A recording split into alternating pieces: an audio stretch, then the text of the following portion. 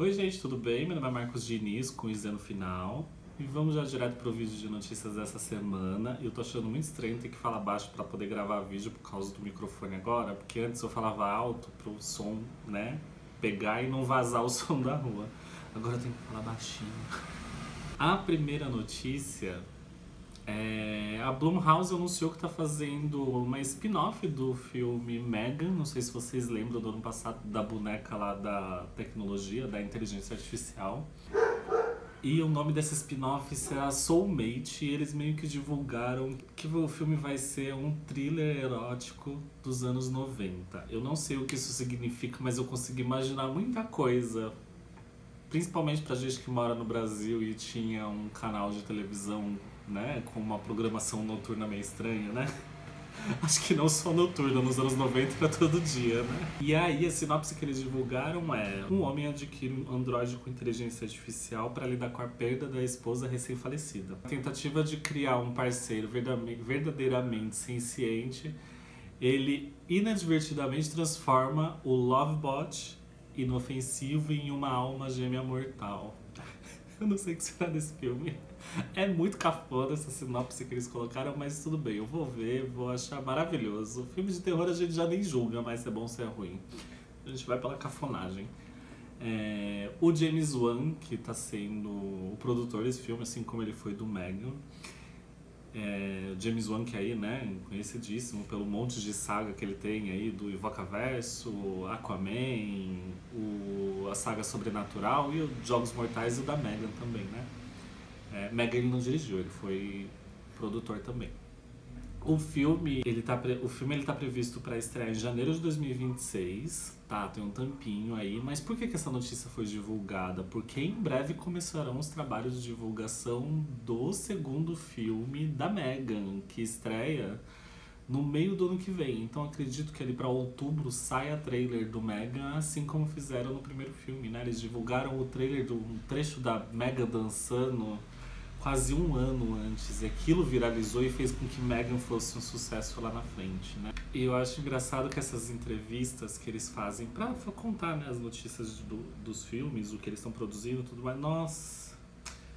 Ai, parecia que eles estavam lançando um filme da 24, gente um filme super cult, não sei o que lá, gente. Não, ninguém tá preocupado com isso. A gente tá indo pela farofa. A gente já sabe que Mega não vai ser uma coisa super cult assim, mas tudo bem, né? O que eles acham que eles estão entregando não é o que a gente vai receber. E é isso que importa. A gente já sabe o que, que vai receber dali. E eu gosto bastante desse filme, não tô julgando. E a outra notícia, né, a gente teve aí Divertidamente, que estreou oficialmente no Brasil nesse final de semana, inclusive sendo a segunda melhor estreia da história do cinema brasileiro e internacional no Brasil. O filme já arrecadou quase 18 milhões no Brasil no primeiro final de semana. A gente já sabia que isso daí ia ser um sucesso, né? O filme já está quase em 760 milhões de dólares, se eu não me engano. O primeiro filme ele arrecadou 860 milhões de dólares quase, então já, a gente já está com duas semanas de filme, a gente já está atingindo quase o, o valor inteiro da bilheteria do primeiro. Lembrando, né, que o filme estreou em parte do mundo agora nesse final de semana. Mas a notícia não é só sobre isso, é que foi também anunciado que eles estão trabalhando em uma série focada no Divertidamente. Não necessariamente no Divertidamente 2, mas eu não sei em qual dos dois filmes. Eu não lembro disso daí no primeiro, ou lembro. Eu bebi um pouco hoje, então já tô um pouco mais pra lá do que pra cá. Tem um momento ali onde eles entram no reino dos sonhos. Reino dos sonhos. Na parte do cérebro onde são feitos os sonhos, né? E, e essa série que vai sair direto no Disney Plus vai ser focada exatamente nisso, né? E aí a ideia é contar, essa série vai se passar como é esse processo dentro do cérebro e explorar o poder dos sonhos e como eles se relacionam com a vida real da. Não sei se vai ser focado na Hayley, né? Pode ser que seja com outro personagem, mas a graça é a Hayley, né? A gente já conhece os divertidamente dela. Em breve, provavelmente, a gente vai ter essa série aí.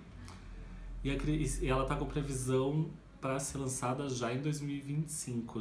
Já eu digo porque já, já tá no metade do ano de 2024. Já praticamente acabou, ainda bem.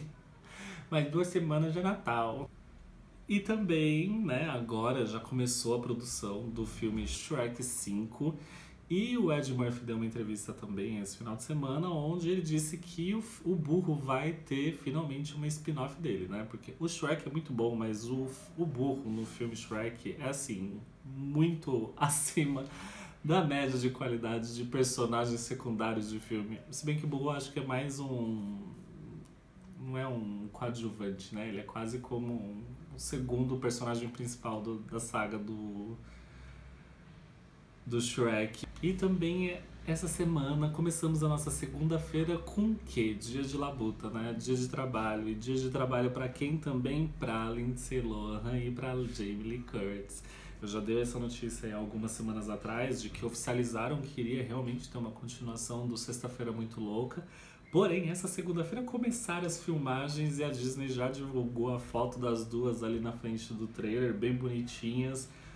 É já se preparando para começarem os trabalhos. E assim, eu fiquei surpreso porque eu, na minha cabeça, quando eles divulgaram isso, entre uma confirmação e alguma coisa realmente ser concreto ali e realmente ser executado, às vezes demora dois, três anos, mas entre a oficialização e eles começarem a fazer foi, acho que acredito que dois meses. E o filme já acredito que tá com previsão aí, né, para o próximo ano já tá lançando. Eu só espero que ele não seja lançado diretamente no Disney Plus. Se for, não tem problema, a gente vai assistir. Mesmo se não tivesse Disney Plus, a gente iria assistir porque a gente tem um caminhão aqui também que dá uma ajudada pra gente. Mas espero que ele vá pro cinema. Acredito que esse filme aqui tem um poder de levar. Vai ser um divertidamente que vai, né? 300 milhões no final de semana, mas acredito que esse filme aqui faria um. Muito pela nostalgia também, uma bilheteria muito honesta. Então é isso, gente. Muito obrigado por terem visto o vídeo até aqui. É, nas duas últimas semanas no canal, no vídeo de domingo, ao invés de fazer realmente algum vídeo falando sobre algum filme, alguma coisa, eu resolvi postar um trabalho antigo que eu havia feito, né, de curta-metragem, exatamente para me dar um descanso aí no, na semana, porque foi bem cansativo fazer essa saga do Mágico Jaws, mas nesse final de semana já voltamos com novos vídeos aí. Então, muito obrigado por ter visto o vídeo até aqui. Se inscrevam no, vi no canal. Se inscrevam no vídeo, se inscrevam no canal, curta o vídeo, compartilhe a gente se vê no domingo. Até mais, tchau, tchau.